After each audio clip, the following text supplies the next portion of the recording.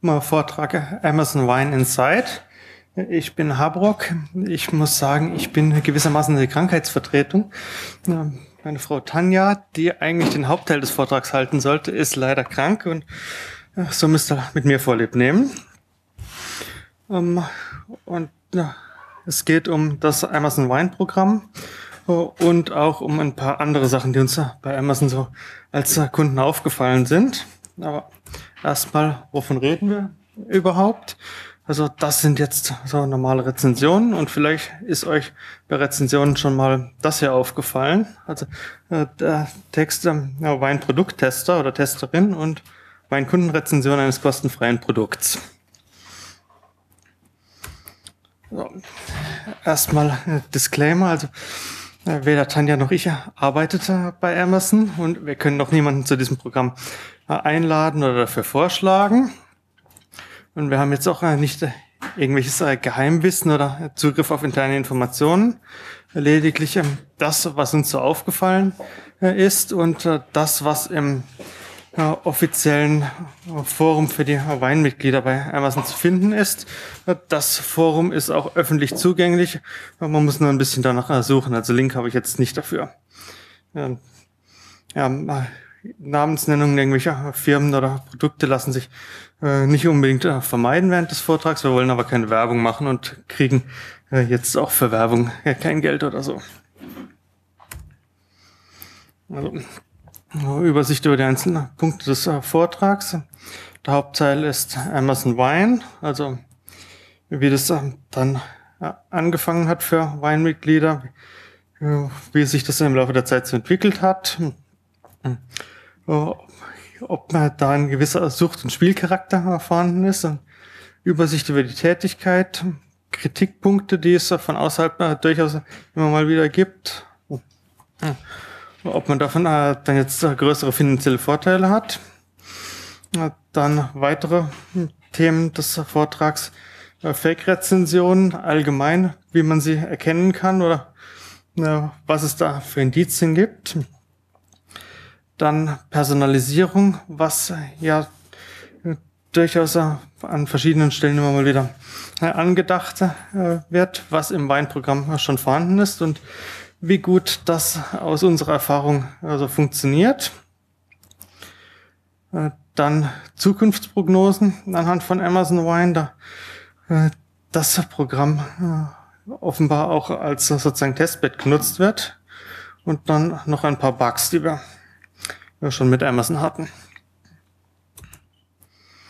Los ging das Ganze irgendwie im Mai oder Juni 2010. Da äh, hat äh, Tanja dann eine äh, Mail bekommen, die ein bisschen nach Spam aussah und vermutlich für einige Leute ähm, so nach Spam aussah, dass sie, dass sie nicht auf den Link geklickt haben, wo dann die Rede davon war, dass Amazon für besonders geschätzte Rezensenten ein Programm äh, auflegen will, äh, dass man Produkte, die kurz vor Veröffentlichung stehen oder äh, gerade frisch rausgekommen sind, äh, schon rezensieren kann. Ähm, ja, da, irgendwo bei Amazon findet sich da noch eine Beschreibung. Ich weiß nicht, wie gut man es lesen kann. Also es ist äh, die Rede von einigen äh, der vertrauenswürdigsten äh, Rezensenten äh, bei Amazon. Äh, die Anzahl der äh, Weinrezensenten ist nicht öffentlich bekannt. Äh, es haben ein paar Leute unabhängig voneinander, voneinander nach um, der Anzahl unterschiedlicher Weinaccounts mal gesucht und sind auf Zahlen so von 1200 bis 1500 aktiven Accounts gekommen. Also das in der Größenordnung liegen müsste. Also die Überlegung, die Besten der Besten Rezensenten. Also sind hier beispielhaft äh, drei Weinrezensenten. Also wie gesagt, es sind so vielleicht 1500 aktive Rezensenten und wenn man das sieht, ähm, Rang 13.000, 12.000, 8.000, es können nicht nur die wirklich sozusagen am höchsten eingestuften Rezensenten bei Amazon sein. Also ähm, äh, hier jetzt mal, das ist glaube ich aus Dezember, die, zehn, äh, die Rezensenten da auf den Plätzen 1 bis 10. Ähm, äh, möchte jemand schätzen, wie viele davon jetzt im Weinprogramm äh, sind? 8 von 10. Ähm, 8 ist zu hoch, 0 ist ein bisschen zu wenig. Äh, zwei Stück. Das sind's. Ja, und auch beim Start des Programms, äh, die Person, die auf Platz 1 der Rezensentenliste lag, hat sich dann ziemlich über das Programm aufgeregt und dann auch äh, doch äh, ziemlich gegen die äh, Weiner gestänkert. So als Detail am Rande. Also, äh, wir haben dann die Vermutung, dass die Auswahl danach, also nach Marktforschungsregeln äh, erfolgt, also irgendwie äh, sortiert, na, dass man eine, eine Bandbreite bei Alter, äh, Kaufverhalten und so weiter und so fort hat. Aber wie genau das ausgewählt wurde, ist ähm, auch nicht bekannt. Ja, wie schon gesagt, ähm, in Mai oder Juni 2010 äh, kam die Einladung und irgendwann im Juli äh, ging es dann äh, los. Also äh, kam der erste Newsletter und das sah dann so also aus, dass donnerstags ungefähr um 10 Uhr an einem Donnerstag der Newsletter kam und an einem anderen Donnerstag in dem Monat der Rest der Newsletter. Das äh, waren also die Sachen, die aus dem Newsletter äh, nicht dann komplett äh, genommen wurden, dass man aus denen dann noch auswählen konnte. beim Newsletter und beim Rest Newsletter konnte man jeweils maximal zwei Produkte bestellen, um die dann zu rezensieren. Ähm, da die äh, 10 Uhr nicht exakt war, äh, haben, hat die F5-Taste äh, bei den äh, Leuten durchaus leiden müssen. So, Symbolbild. Also das äh, hieß dann äh, für viele so ungefähr eine Viertelstunde vor zehn, äh, anfangen am Rechner F5, F5, F5, äh, bis sich die Seite aktualisiert, weil ähm, hochwertigere Produkte durchaus innerhalb von Sekunden dann äh, komplett weg waren. Nach anderthalb Jahren äh, kamen äh, dann weitere Tester dazu. Da ist dann Leuten, die so hobbymäßig Statistik machen, aufgefallen, äh, dass die äh, auffällig äh, viele Buchrezensionen geschrieben haben. Also eventuell für die Bücher, die dann im Newsletter drin waren, dass äh, da mehr Rezensionen reinkommen oder so. Ja, irgendwann kam zum Newsletter und Rest-Newsletter noch äh, der letzte Chance-Newsletter irgendwie einmal pro Monat montags. Da gab es dann äh, keine Begrenzung darüber, wie viele Artikel aus dem Newsletter man nehmen konnte. Ähm, es äh, fing dann an, dass äh, personalisierte Newsletter und Reste-Newsletter rausgegeben wurden. Das heißt, man hat nicht mehr alle Produkte gesehen, die zu diesem Zeitpunkt dann als Testprodukte da waren, sondern personalisiert. Wie gut die Personalisierung äh, funktioniert hat, da äh, komme ich dann später nochmal dazu. Ja, und äh, mittlerweile ist es äh, umgestellt, dass es einmal eine Liste persönliche Vorschläge und eine Liste Wein für alle gibt. Das heißt, man sitzt nicht mehr an festen Zeitpunkten pro Monat dann vorm Rechner, was zu äh, bekommen, sondern ah, da kann jederzeit, da können da Produkte reinkommen. Und äh, gleichzeitig äh, wurde auch umgestellt, äh, wann man Produkte äh, überhaupt bestellen äh, kann. äh, die Regelung und ähm, wie viele Produkte man bestellen kann. Da komme ich später nochmal dazu. Dann äh, es gab ein paar Auffälligkeiten ähm, bei, wenn was nicht ganz so gut funktioniert hat.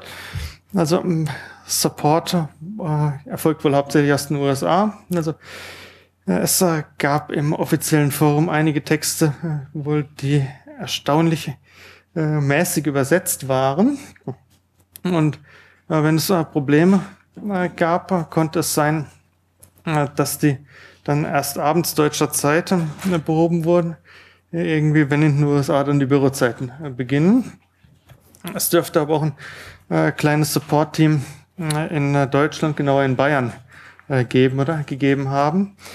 Äh, der Newsletter war nämlich am ersten Donnerstag im Monat, sofern dieser Donnerstag in Bayern kein Feiertag war. Äh, wenn in Bayern ein Feiertag war, haben sich die Leute zum Teil gewundert, warum kein Newsletter kommt. Der kam dann eine Woche später. Und äh, es gab wohl auch Fälle, wo sich Personen dann gewundert haben, dass so bis halb elf kein Newsletter da war. Äh, dann irgendwie Kontaktpersonen, die sie mühsam rausbekommen haben, angerufen haben und kurze Zeit später war der Newsletter dann online. Es erscheint also nicht irgendwie hm, per Cronjob oder so äh, der Newsletter freigeschaltet worden zu sein, sondern dass jemand eine Taste drücken muss oder so. Also, das habe ich gerade eben schon gesagt.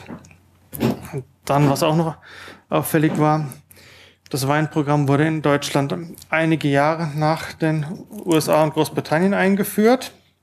Äh, wenn es dort dann eine Umstellung gab wie den äh, Letzte Chancen Newsletter, äh, dann wurde das ursprünglich erst Monate später in Deutschland eingeführt.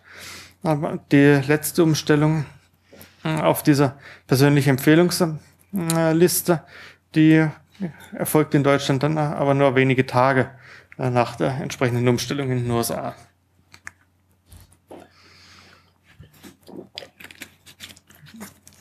Ja, dann haben wir uns natürlich die Frage gestellt, hm, wozu das Ganze? Also, was äh, bringt das Amazon?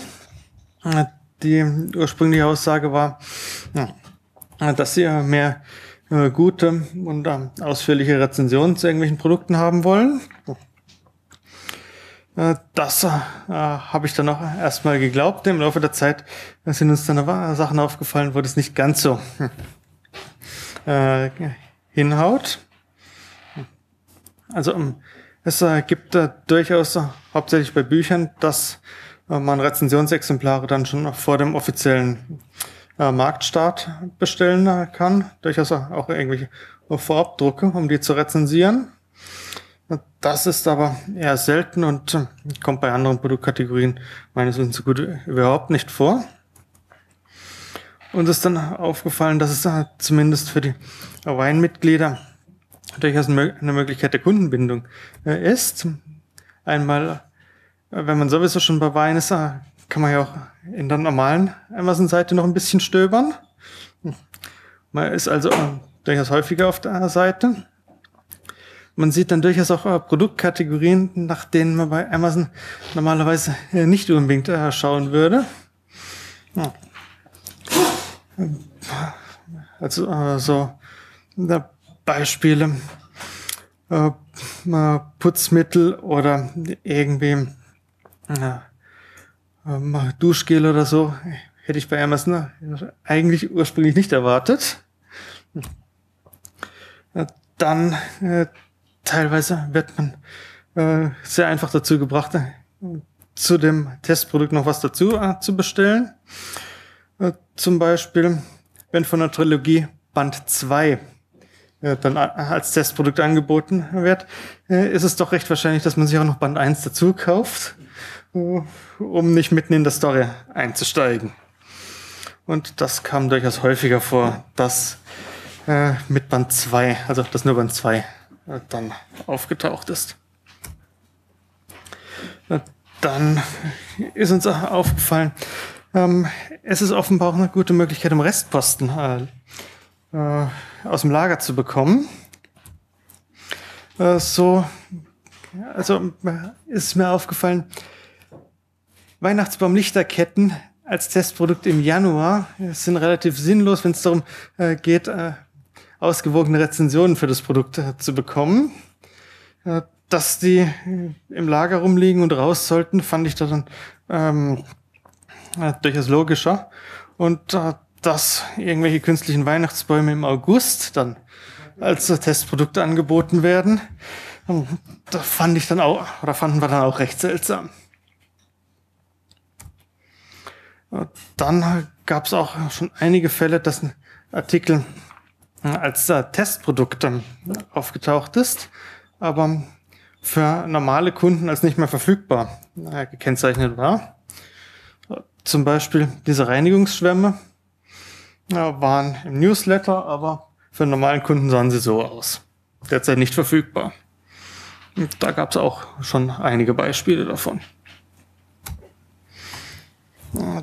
Dann, ja, es hat äh, schon einen gewissen Sucht und äh, Gaming-Charakter. Also das war das Ergebnis eines letzten Chance Newsletters.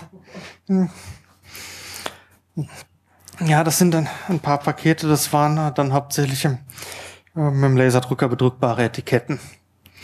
Äh, ja, eine ganze Menge davon wurde dann weitergegeben. Und wir haben immer noch davon. Und dann natürlich äh, Beobachtung, wo ist die Bestellung? Denn dass man das Produkt bestellt hat, heißt äh, noch nicht, dass man es äh, bekommt, denn es kann bei Amazon abbrechen. Es kann irgendwo auf dem Versandweg mit äh, äh verschiedenen Versanddienstleistern ja Probleme geben. Also schon die Frage, wann kommt das Produkt an und so weiter.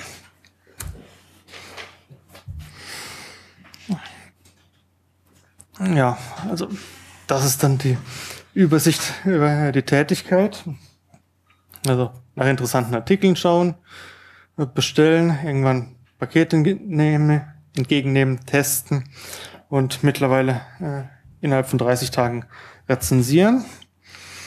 Zusätzlich möchte Amazon noch, dass die persönlichen Informationen, Angaben über den Haushalt, Freizeit, Hobby, Freizeitaktivitäten und Hobbys und so weiter aktuell gehalten werden für die Personalisierung. Wie gesagt, komme ich dann halt gleich noch äh, dazu. Ja, es gibt ähm, ja, von außerhalb einiges an äh, Kritik an dem äh, Programm, durchaus äh, auch, äh, denke ich, einiges äh, gerechtfertigt. Also mangelnde Transparenz, wie schon äh, gesagt, auch als Mitglied des Programms wird man über viele Hintergründe im Dunkeln gelassen. Hm. Dann, dass die Vorschläge nicht an die passende Zielgruppe gehen, sondern ja, an die äh, Tester nach irgendwelchen unklaren Verfahren gestreut wird. Aber nicht unbedingt an Leute, äh, die sich mit der Produktkategorie so extrem gut auskennen müssen. Also, dass es keine äh, professionellen Rezensenten äh, sind. Also das kommt durchaus von Fachzeitschriften, dass man denen doch das Testen überlassen soll. Aber das ist äh, wohl Absicht, dass tatsächlich mal Verbraucher die Produkte testen, um dann aus Verbrauchersicht eine Rezension schreiben zu können. Dann, dass zu positive Rezensionen äh, geschrieben werden. Äh, ja, also äh, ist äh, durchaus äh, möglicher. Weiß ich jetzt nicht, ob das äh, schon mal jemand ausgewertet hat, äh, wie positiv dann die Rezensionen aus dem äh, Programm sind gegenüber normalen Rezensionen. Aber einige versuchen dann äh, durchaus äh, schon eine ausgewogene Rezension zu schreiben. Ups.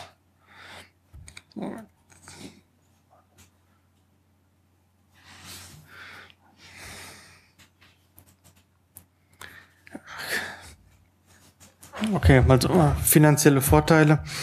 Ja, in gewisser Weise nicht so wirklich. Also äh, es sieht äh, so aus, dass äh, Produkte innerhalb von sechs Monaten zurückgefordert werden können. Danach äh, gehen sie ins Eigentum des äh, Weintesters ne, über. Äh, Rückforderungen oder Kontrollen, dass die Artikel jetzt nicht zu früh verkauft werden oder so. Ähm, da gibt es so gut wie nie Kontrollen. Also uns ist ein Fall bekannt, wo jemand aus dem wegen zu frühen Weiterverkaufen aus dem Programm rausgenommen wurde, was aber schon extrem seltsam gestaltet war. Die Person hat mit einem Account, der gerade noch hinten dran eine Zahl gehängt hatte, hing mit dem Wine-Account auf Amazon Marketplace genau das Testprodukt verkauft. Und das innerhalb von Tagen. Das war dann doch zu auffällig. Ja. Dann äh, teure Artikel äh, kommen jetzt äh, nicht so häufiger mal rein, beziehungsweise dann äh, teure Artikel, äh, die einem jetzt nicht so viel nutzen, komme ich auf der, bei der Personalisierung äh, noch darauf. Und häufig genug äh, sind die Artikel dann auch äh, nicht wirklich das, äh, was man äh, selber äh, kaufen äh, würde. Also ähm, Fernseher, die als Testprodukte reinkamen, äh, die laufen ja jetzt im Verwandten- und Bekanntenkreis häufig und unseren haben wir uns selber gekauft, weil die Testprodukte dann äh, doch nicht das äh, gemacht haben, was äh, wir uns vom Fernseher äh, erwarten, sondern verschiedenste Probleme hatten.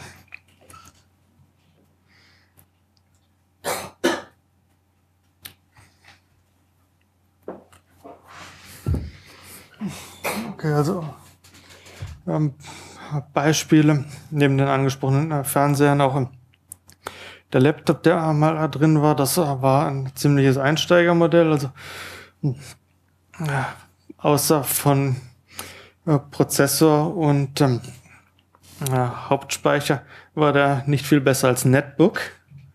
Äh, also dass die Laptops eigentlich äh, die immer wirklich im Einsatz sind und doch selber gekauft sind. Na, Kameras haben wir dann auch schon ein paar verteilt und ja, der Saugroboter, äh, der mal im Newsletter war, äh, der steht mittlerweile äh, bei uns im Space und macht da hin und wieder sauber. Aber für zu Hause war der nicht wirklich brauchbar.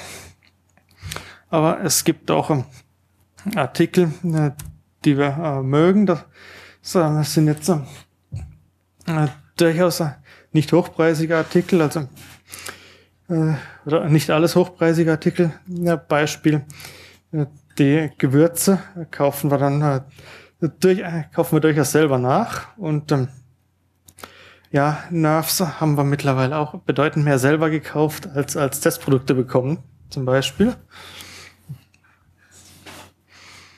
Ja, oder Schreibtischstuhl haben wir dann auch äh, noch einen nachgekauft, weil uns der so gut gefallen hat.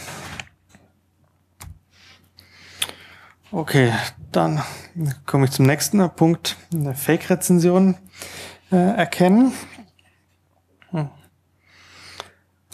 Also, es äh, gibt ja die Möglichkeit, hilfreich, nicht hilfreich äh, zu markieren. Das ist nicht unbedingt ein äh, Kriterium. Äh, vor allem äh, früher war es dann äh, bei Wein, also bei Weinleuten so, dass kurz vorm Newsletter es auf verschiedenste Rezensionen nicht hilfreich Klicks äh, gehagelt hat. Ähm, eventuell war da die Hoffnung, äh, damit äh, bei anderen äh, Testern irgendwie die Produktauswahl beeinflussen zu können oder so. Also es kann ein Kriterium sein, muss es aber nicht. Aber es gibt ein paar Indizien, die uns also im Laufe der Zeit aufgefallen sind. Also, dass die Wortzahl gerade so erreicht äh, wird, ist ein recht gutes Kriterium, dass man die Rezension ähm, ignorieren äh, kann. Das kommt zum Teil auch daher, äh, dass Leute wohl das Gefühl haben, das Produkt rezensieren zu müssen und dann entstehen Rezensionen, wo dann aus dem Text klar hervorgeht, dass die Person versucht, äh, gerade so über die Wortzahl zu kommen. Habe ich jetzt aber leider kein Beispiel da. dann gibt's auch Rezensionen ohne eigene Meinung, die im Grunde die Produktbeschreibung äh, dann äh, runterbeten oder äh, Klappentext bei Büchern oder so. Das deutet dann auch darauf hin, dass die Person das Produkt nicht unbedingt in der Hand gehalten hat. Ähm, ja, bei Büchern oder Filmen nur die Inhaltsangabe abgeschrieben im Grunde. Dann äh, gibt's äh, Fälle, äh, wo äh, bei Produkten, die nicht so gut bewertet waren, plötzlich eine Menge Fünf-Sterne-Rezensionen einläuft. Was dann auch auffällig ist, dass diese Fünf-Sterne-Rezensionen vielleicht äh, nicht äh, ganz so objektiv sein äh, sind. Oder Ausreißer im Bewertungsschnitt. Ähm, ja, oder äh, dass eine Person bei einem Artikel, der bis jetzt schlecht bewertet war, äh, irgendwie ihre erste, Rezension abliefert.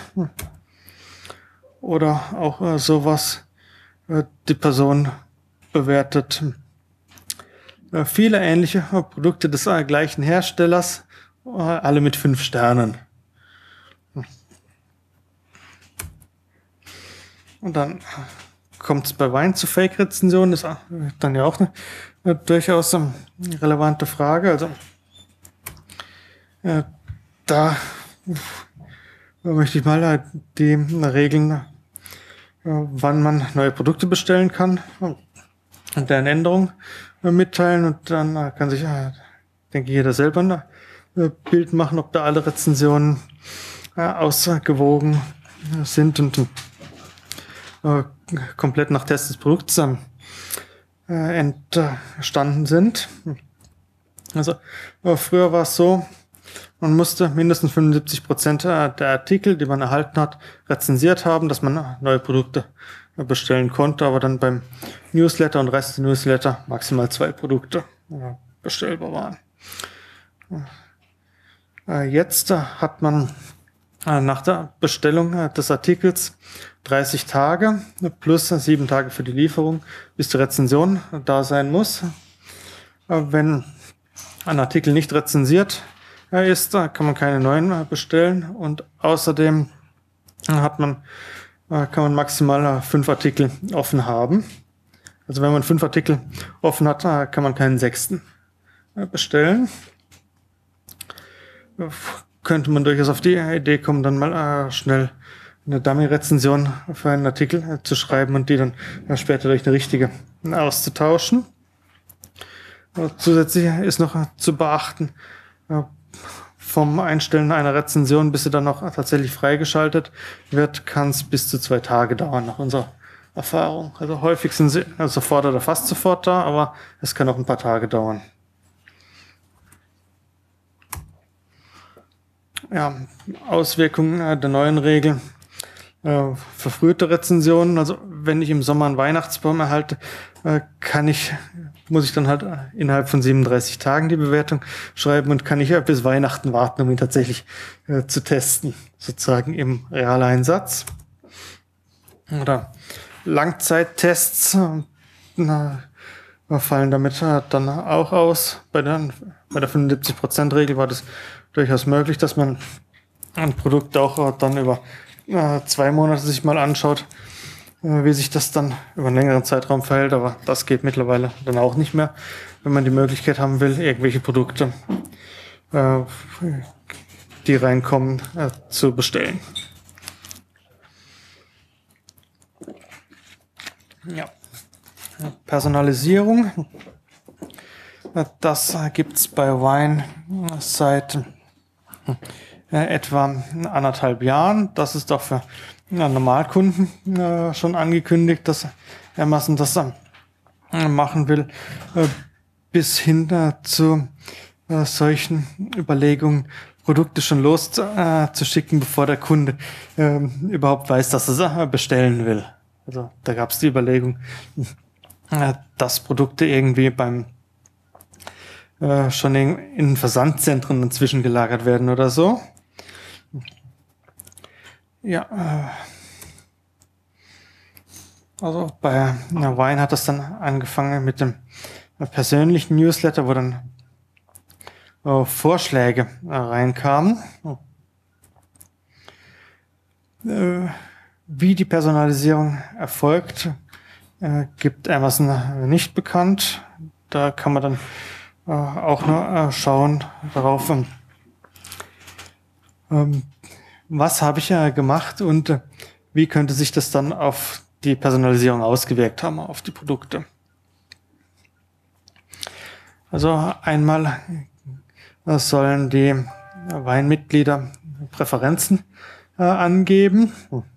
Ja, durchaus recht detailliert. Das funktioniert aber äh, nicht so wirklich. Also, das ist dann jetzt, äh, was da, was man da an Präferenzen angeben äh, kann.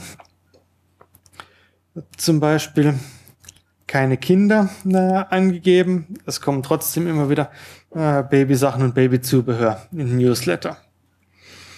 Oder als wahrheitsgemäß Katze noch angewählt war, äh, kam durchaus auch Hundefutter, äh, Aquarien und Terrarienzubehör. Womit man bei den Katzen dann nur begrenzt was anfangen kann. Ja, dann Beobachtungen zur Personalisierung. Also das sind jetzt äh, jeweils noch unsere Vermutungen. Äh, so war der Eindruck, dass äh, wenn man einen Artikel gekauft und rezensiert hat, dass es nach etwa zwei bis drei Monaten sein kann, dass Artikel dieser Kategorie im Newsletter landen. Aber äh, für die ganzen Punkte äh, gilt, andere Weinmitglieder äh, können das zum Teil oder häufig nicht bestätigen, die Beobachtung. Also dann gab es auch noch, wenn man länger in einer Kategorie stöbert, ob das dann zu Produkten der gleichen Kategorie im Newsletter führt. So hat meine Frau vor dem Kongress länger nach einem äh, Decktelefon äh, geschaut äh, und hatte dann ein Windows-Smartphone, irgendwann Newsletter. Also da gab es dann auch ein, ein, paar Beispiele, was da, was in die Richtung lief oder hm, führen Bestellungen äh, bei Wine oder als normaler Kunde zu weiteren Artikeln aus der Kategorie. Hm, ist eine Vermutung. Äh, da gab es dann also schöne Beispiele. Äh, Tanja hat Stifte bestellt und fünf Minuten später hatte sie denselben Stiftsatz im Wine Newsletter drinstehen. Hm. Was uns zu einem äh, was uns äh, doch recht seltsam vorkam als Zufall. Ähm, ja, oder auch irgendwie, wenn man einen Heizlüfter genommen hat, da kommen weitere Heizlüfter. Äh, dann in Newsletter hatten wir auch schon. Also Heizlüfter, Ventilatoren und sowas.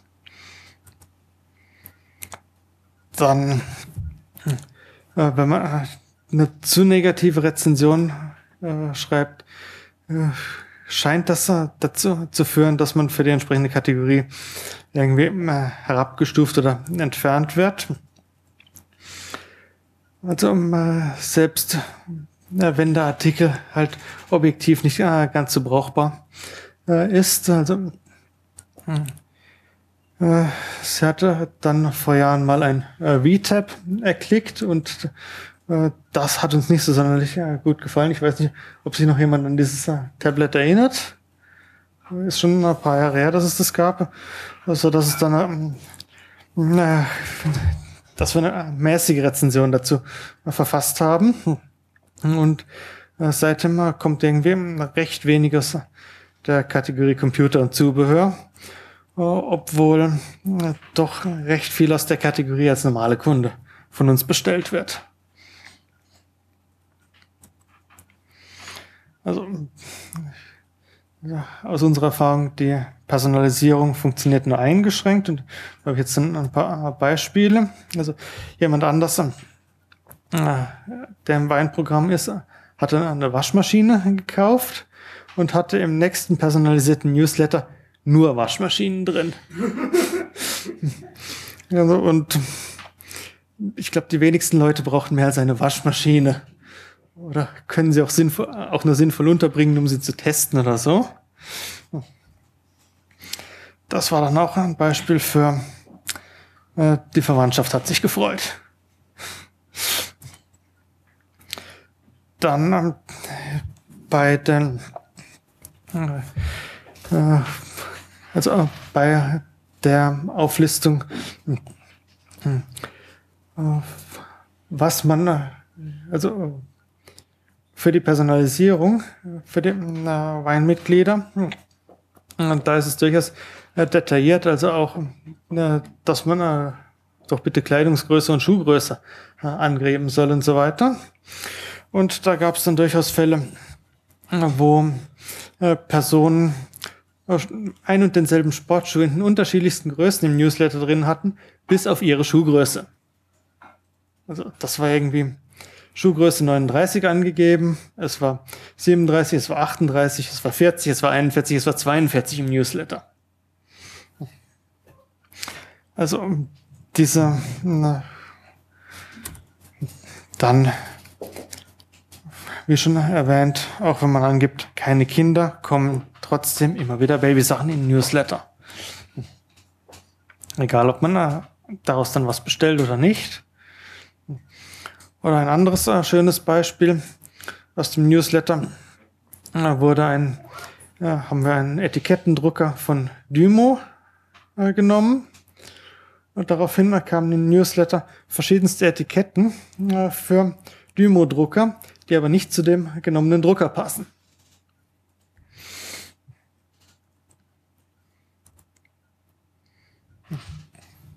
Ja. Äh, Zukunftsprognose aufgrund dessen, dass Wein offenbar auch für irgendwelche äh, Tests äh, genutzt wird, wie das funktioniert. Also ein Beispiel war, also außer meiner Beobachtung ist es so, dass mittlerweile so gut wie alles von Amazon einzeln versandt wird, auch wenn man angibt, in möglichst wenige Lieferungen zusammenfassen.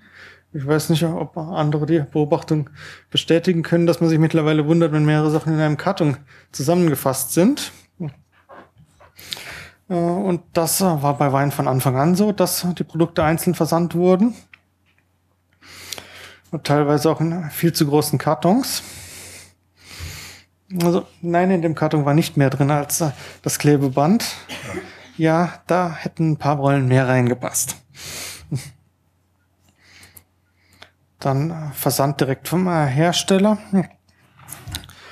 Äh, scheint bei Amazon Wine mittlerweile zu laufen. Also es war vor ein paar Jahren mal irgendwie ein Presseartikel, dass zum Beispiel bei Procter Gamble im Grunde direkt aus deren Lager äh, von Amazon äh, verschickt wird und kurz danach waren im Newsletter dann verschiedenste ähm, Reinigungs- und Badprodukte von Procter Gamble. Also scheint dann auch äh, darüber erstmal getestet worden zu sein oder so. Und äh, ich würde mal vermuten, äh, dass das mittlerweile ausgeweitet wurde. Dann Zusammenlegen des Supports, also dass der Support eventuell eher in den USA sitzt oder irgendwo in Ländern, die von der äh, Rechtslage im Land des Kunden nicht unbedingt Ahnung äh, haben müssen. Äh, scheint so zu sein und auch zuzunehmen. Ja, dann ein paar Probleme und Bugs, die wir bei Amazon schon hatten, nicht unbedingt im Weinprogramm, aber dort auch. Also äh, so scheint die Chatbetreuung irgendwie erstmal von äh, Software abgefrühstückt zu werden, bis äh, der Fall zu schwierig wird oder so. Auch äh, wenn der Chat so tut, als äh, sähe es am anderen Ende ein Menschen, ein Mensch. Dann, was immer mal wieder vorkommt, dass ein falscher Artikel versandt wird oder ein Artikel an die falsche Adresse versandt wird. Hm. Was dann üblicherweise äh, dazu führt, dass vom Support kommt, ähm, ja, können wir nicht nachverfolgen, wir schicken den Artikel gerade nochmal raus und den anderen können sie äh, behalten. Also äh, wir hatten dann auch äh, schon mal einen irgendwie Trinkbecher, der von jemand komplett anders bestellt wurde und dann bei uns gelandet ist, aber irgendwie Amazon wollte den nicht zurückgeschickt äh, haben oder dass der abgeholt wird oder so. Der steht immer noch bei uns rum. Ja, wie schon gesagt, Versand an falschen Empfänger. Ja.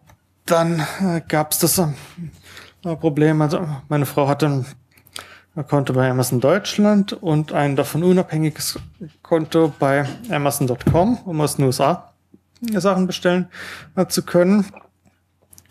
Und äh, irgendwann hat das Einloggen nicht mehr funktioniert und ähm, auf Nachfrage hieß es dann, äh, sie hätte ein Doppelkonto. Ähm, das sah dann äh, so aus, als hätte Amazon äh, den Datenbestand zwischen den äh, verschiedenen Ländern äh, bereinigt und dabei diese beiden Konten zusammengelegt, äh, was dann irgendwie äh, dazu führte, dass weder mit dem Konto für die für Amazon.com noch fürs Konto für Deutsch für noch mit dem Passwort für Deutschland ein Login erfolgen äh, konnte. Und irgendwie äh, Support äh, hat sich bemüht, aber äh, hat irgendwie nicht wirklich weiterhelfen äh, können. Die Lösung war dann irgendwie auf Amazon bisher nicht bekannte Mailadressen umstellen und neues Passwort vergeben und so weiter, um das dann äh, trennen zu können und äh, ums Einloggen überhaupt wieder äh, zu ermöglichen. dann äh, war bei Amazon.de irgendwann mal angekündigt, dass es jetzt einen äh, Beta-Test Englisch gibt, dass man die Sprache umstellen äh, kann. Also meine Vermutung war, dass die in einzelnen Ländern dann doch auf unterschiedliche Codebasis gelaufen sind und das so nach und nach bereinigt wurde. Äh, Tanja hat das umgestellt. Also war dann hier bei Einstellungen gibt es irgendwo äh, Spracheinstellungen ändern. Ist mit neu gekennzeichnet. Sieht dann äh, so aus, kann man auf Englisch umstellen. War eine schlechte Idee. Hm. Äh, danach gab es nämlich ein Problem beim äh, Laptop.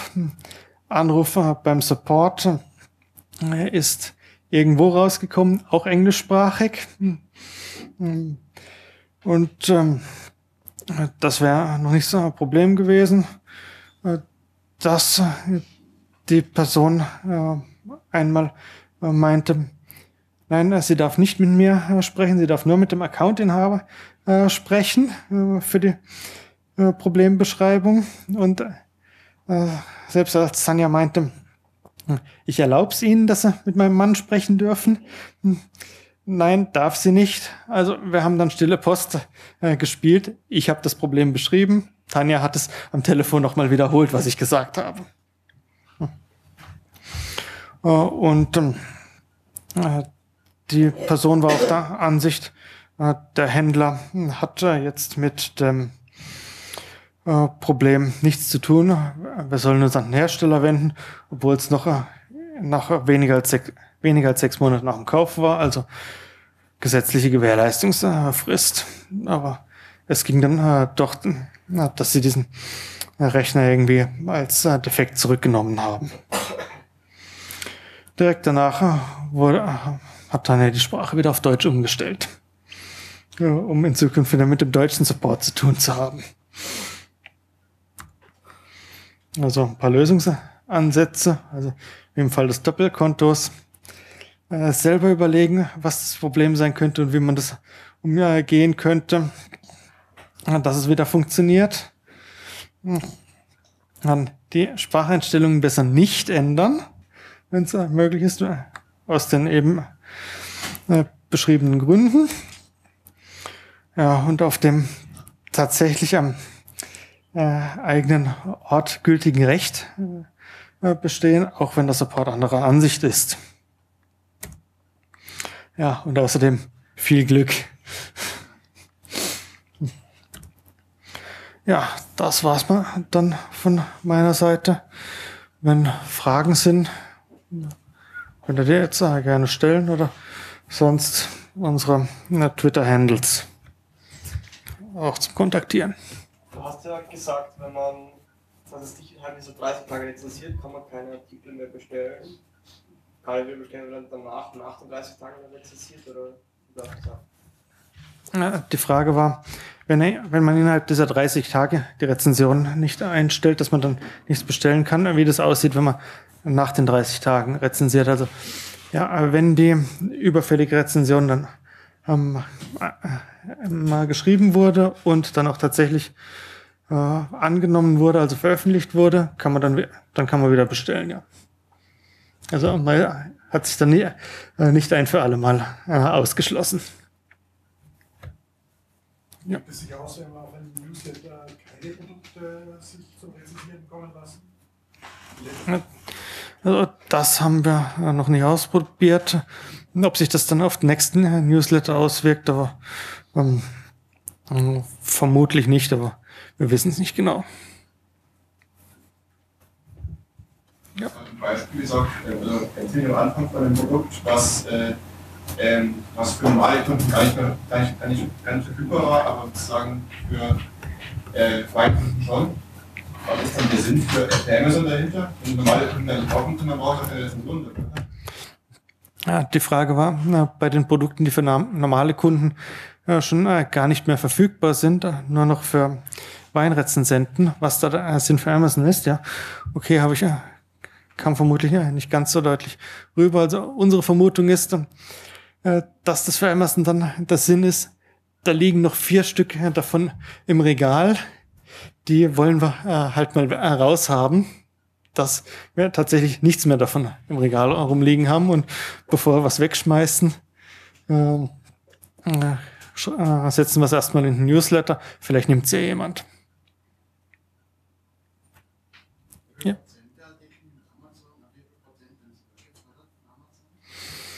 Die Frage war, wie viel Prozent eigentlich äh, zurückgefordert werden. Also, äh, in, wie gesagt, in den USA läuft es ja schon länger und da gab es, glaube ich, auch noch äh, keine Rückförderung äh, von irgendwelchen Produkten. Also äh, es äh, steht dann vermutlich aus irgendwelchen rechtlichen oder steuerlichen Gründen oder so äh, drin, dass die äh, zurückgefordert werden können, aber es kam wohl noch nie vor. Uns ist zumindest nichts bekannt.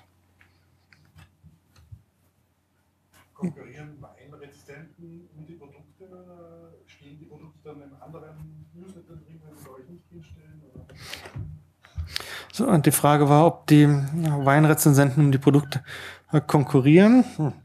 Wie das äh, jetzt mit den äh, personalisierten Newslettern ist, ähm, wissen wir nicht genauer. Zumindest früher war das so, dass für den Newsletter halt eine bestimmte Anzahl ähm, an Produkten zur Verfügung stand und wer zuerst bestellt hat, äh, hat was davon bekommen, die anderen nicht. Äh, deswegen auch das Quellen der F5-Taste, denn wenn man fünf Minuten nach dem Freischalten äh, des Newsletters dann reingeguckt hat, konnte man sich sicher sein, dass äh, Kameras, Laptops und so weiter äh, weg waren und äh,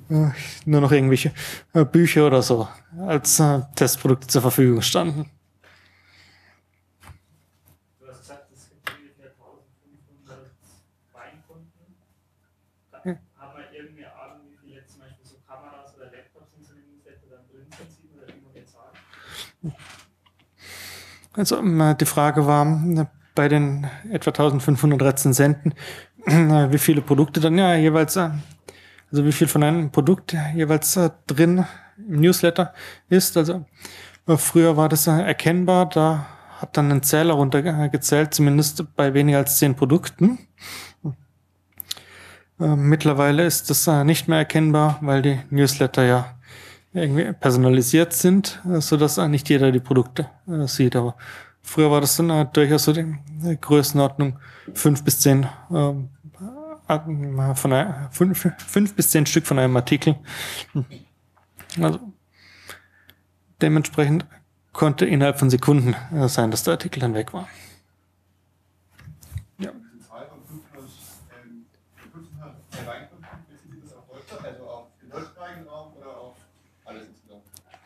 Ähm, die 1200 bis 1500 aktiven Weinrezensenten, das ist äh, dann Amazon.de, also deutschsprachig.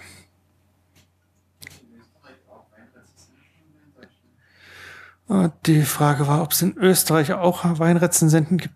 Da muss ich sagen, das weiß ich nicht, das haben wir äh, nicht nachgeschaut, aber äh, ähm, kann jemand sagen, ob es äh, diesen äh, grünen äh, Schriftzug auch bei Amazon AT bei den Rezensionen gibt, ob der jemandem schon mal aufgefallen ist? Also. Okay, also wenn Amazon AT eine weitere Leitung auf Amazon.de ist, dann äh, dürften das die gleichen Rezensenten äh, sein. Ob es in Österreich welche gibt, kann ich aber nicht sagen. Ist mir nichts bekannt. Eventuell dann, na, Tanja, äh, mal fragen, vielleicht weiß die da was. So. Ich habe es nie bekommen, oder? Zahlen Sie jetzt den vollen Preis für das Produkt oder nicht? Ah, die Frage war, ob wir den vollen Preis für die Produkte äh, zahlen. Okay, äh, habe ich ja wohl auch nicht äh, deutlich genug gesagt. Also, nee, die Produkte werden von Amazon dann kostenlos geliefert. Also da zahlt man dann als Weinrezensent nichts dafür. wenn die Anzahl begrenzt ist, ist es dann so, dass diese E-Mail kommt und dann sofort randommäßig irgendwas bestellst, um überhaupt irgendwas zu kriegen, was vielleicht gar nicht passt, was du haben willst, weil du keine Zeit hast, nachzudenken.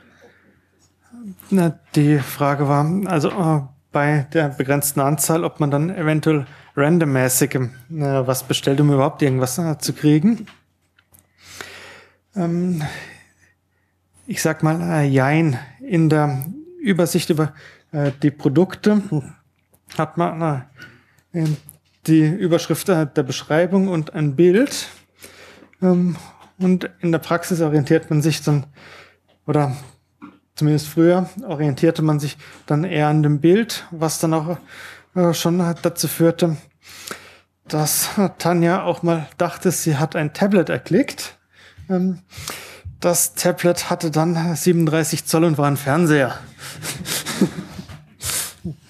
Und äh, mittlerweile durch den hm, äh, durch die zeitliche Entzerrung äh, ist es aber nicht mehr so, dass man äh, das Gefühl hat, äh, sich in Sekunden entscheiden zu müssen, um überhaupt eine Chance auf das äh, Produkt zu haben. So dass man schon etwas genauer schaut, ah, was das eigentlich ist. Aber früher war das dann tatsächlich so, sieht aus wie eine Kamera, sieht aus wie ein Tablet, draufhauen, bestellen. So, äh, Gibt es noch weitere Fragen?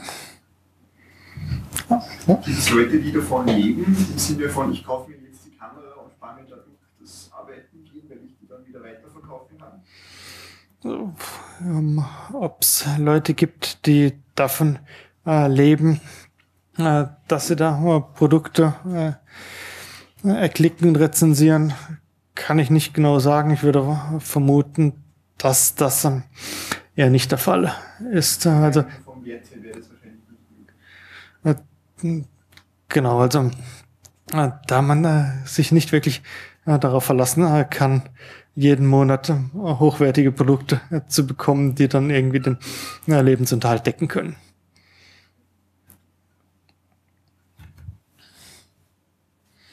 Ja. falls niemand mehr Fragen hat, äh, würde ich mich für die Aufmerksamkeit bedanken und das Ganze dann den Vortrag hiermit beenden. Vielen Dank.